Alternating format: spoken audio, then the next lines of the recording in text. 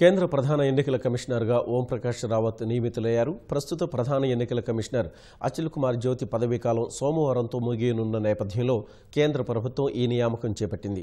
రావత్ ఈ నెల ఇరవై మూడున సీఈసీగా పదవి బాధ్యతలు చేపట్టనున్నారు. మధ్యప్రదేశ్ కేడర్కు చెందిన పంతొమ్మిది వందల డెబ్బై ఏడు బ్యాచ్ ఐఏఎస్ అధికారి అయిన రావత్ ఇంతకుముందు వివిధ హోదాల్లో పనిచేశారు.